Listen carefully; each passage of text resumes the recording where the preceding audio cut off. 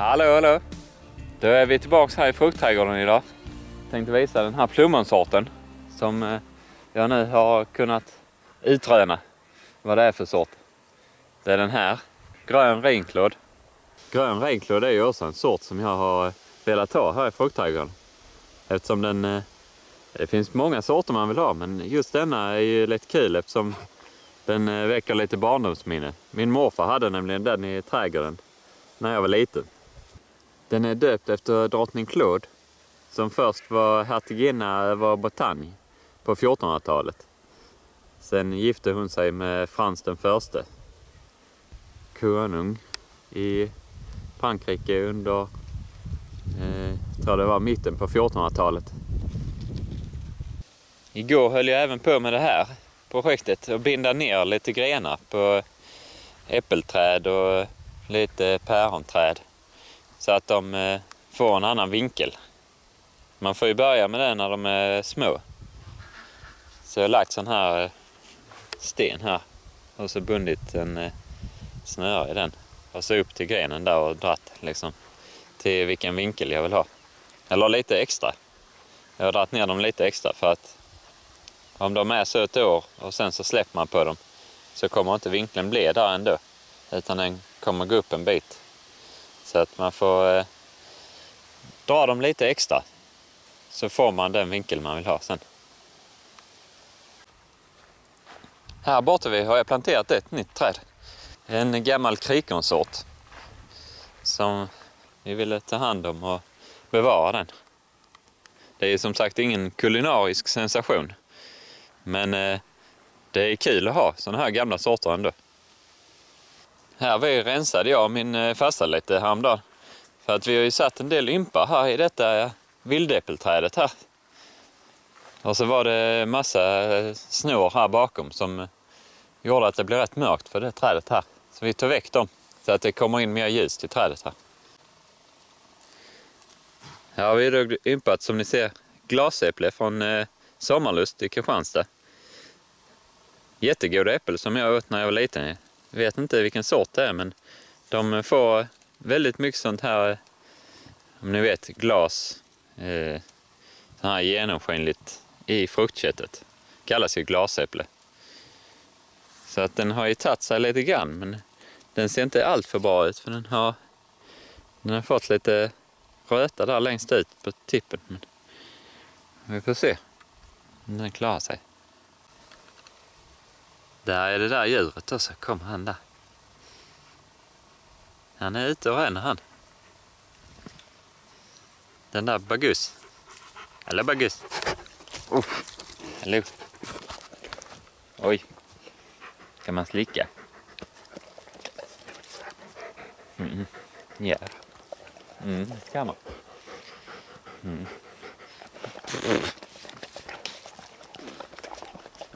Mm. Mm, mm. Nu räcker det. Nu räcker det. Nu räcker det. Uh. Vi går vidare här. Ta din sån här. Lilla. Ta din sån här.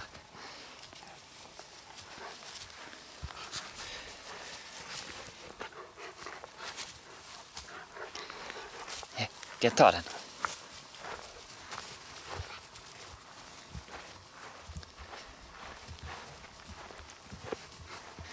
tar den från dig. Jag tar den. Akta dig, ni söta tölta.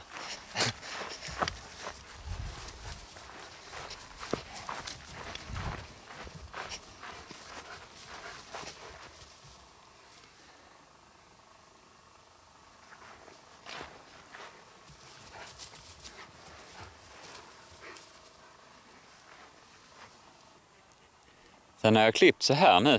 Jag har bestämt mig för att ha det så. Att eh, jag klipper eh, bredvid äppelträden och så lämnar en sån remsa med gräs i mitten. Alltså man eh, hör ju alltid överallt att man eh, ska rensa runt träden för att inte gräset eh, och andra växter ska ta näringen från trädet som är nysatt. Men eh, jag har märkt att eh, de växer väldigt bra även om det är gräs ända in till stammen. Och eh, dessutom så behåller jorden då närmast trädet eh, fuktigheten mycket, mycket, mycket bättre. Så att man slipper hålla på och vattna så mycket. Är det inte växtlighet där så eh, torkar jorden ut mycket snabbare. Man kan ju dock lägga lite lager bark eller eh, träflis eller, eller halm eller något annat som täcker jorden där. Så håller den ju också fuktigheten bättre. Men eh, som sagt så slipper man hålla på och tillsätta då för detta bryts ju ner eh, hela tiden om man ska lägga då någon bark eller flis eller någonting. Och har man då låter gräset växa runt där så, så agerar det som eh, täckmaterial. Och jag har inte märkt att trädet påverkas någonting. Så jag låter det vara så och låter gräset växa in till stammen. Så eh, hålls fukten där mycket bättre och trädet påverkas inte.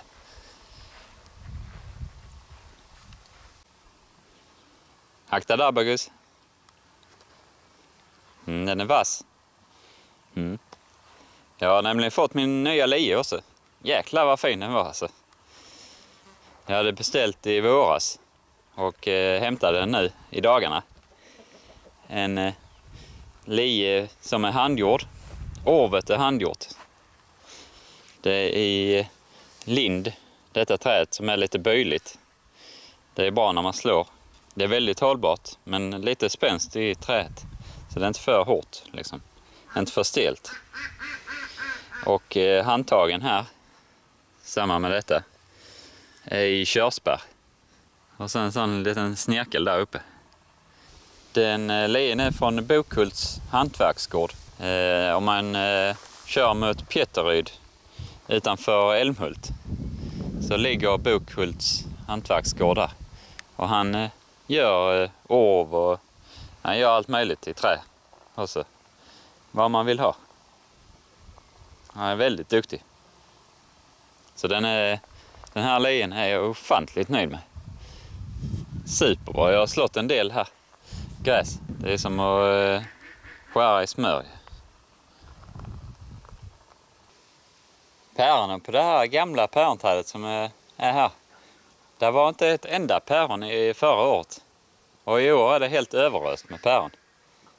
Så det ska bli kul att se eh, om det är en god sort eller om det är en äcklig sort. Eh, det vet man inte förrän man har smakat. Så. Det har faktiskt eh, tillkommit ett, ännu ett nytt träd här inne i växthuset. Som kom med posten för några dagar sedan. Den här, olivträdet. Där vi. Ascolana oliver. Blir det på den? Ett fint träd faktiskt. Eh, Beställd från Italien. Eh, så det kom med posten där. Men eh, det ger ju sådana riktigt stora oliver. Sådana här liksom. En av de största oliverna som finns. Ascolana oliver. Eh, jag kan visa en bild på de här också, så ni ser.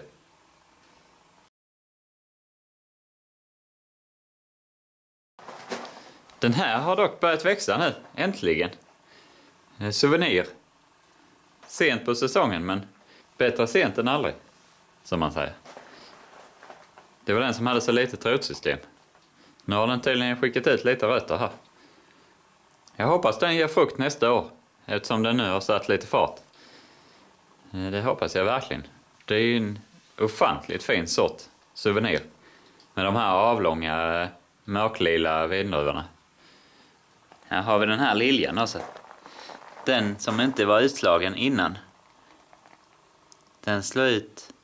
Den var lite seg. Den slog ut... Eh, det tog några dagar extra. Tre dagar tror jag det. Efter de andra hade slått ut. Jag trodde den skulle komma dagen efter, men nu är den i alla fall utslagen och den är ju ofantligt fin. Den har mer gult i sig än de andra. Bananen mår bra. Detta lövet har kommit denna veckan, ända nerifrån där. Och utvecklats till ett helt löv på en vecka. Den ser ut att må väldigt bra. Alla passionsfrukter och allting växer fint. Den här som tog lite tid, den har ju satt fart nu. Kalamondinen, slått massor med skott överallt. Överallt. Nya skott. Jalapenosen producerar massivt med jalapenos hela tiden. Man plockar och sen så kommer nya hela tiden. Jag la in jalapenos som blev väldigt, väldigt goda för eh, några veckor sedan. Eh, de blev väldigt starka faktiskt. Starka, mycket starkare än jag trodde. Men de blev fantastiskt goda. Så de är snart uppätna alla de, får lägga in fler. Men den här är ju helt sjuk, om jag får uttrycka mig så. Den växer ofantligt snabbt. kalabassplantan. Kolla in detta virvar av eh, skälkar och trådar överallt. Oh, kolla den klasen där.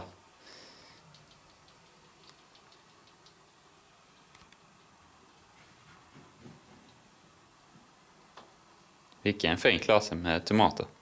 Ser ut att vara sådana små pärontomater. De blir nog gula sen. Han brukar öppna dörren där. Hallå Bagis! Hallå! Kommer du? Ja! Bagus han ska bli klappad. Alltid, 24 timmar om dygnet. Ska han bli klappad. Visst? Mm. Alltid klappa. Hela dagen lång. Man kanske ska ha sig en tomat idag. Den ser inte fel ut. Tigerella. Det ser man på den. Den ser inte ut som en tiger men den är ju randig i alla fall. Lite så spräcklig. Mm.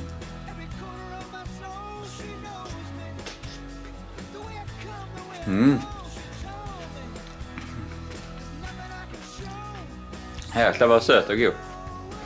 Mm. Precis som tomat ska vara.